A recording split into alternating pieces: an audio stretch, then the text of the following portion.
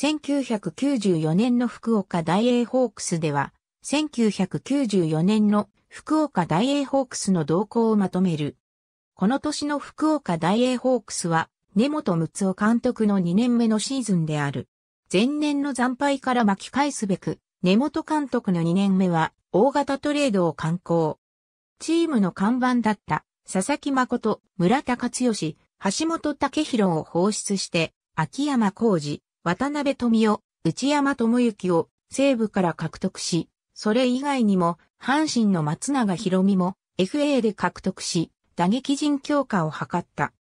また外国人をブライアント・ラックスラーとケビン・ライマーに一新し、ドラフトでも渡辺修一や後にチームの看板選手となる国母勇気を入団させるなど、ペナントの台風の目と言われた。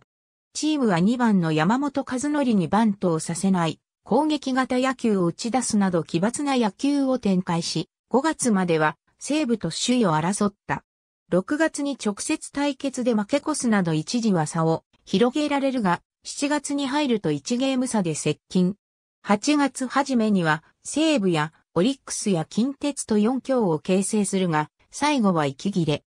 終盤は持ち直して、リーグ2位の69勝を挙げたが、引き分けが少なかったのが響き勝ち越しながらも4位で終えた。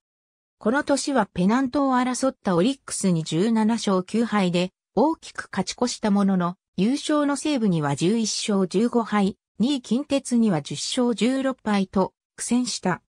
投手陣は防御率が4.10の3位と検討したほか、非本塁打もリーグ最小の90本に抑えた。打撃陣は両外国人、松永、秋山、山本など打線が打ちまくり、リーグ2位の132本塁打を記録した。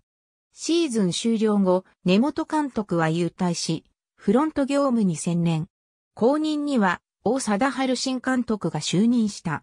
網掛けの選手は逆指名による入団。ありがとうございます。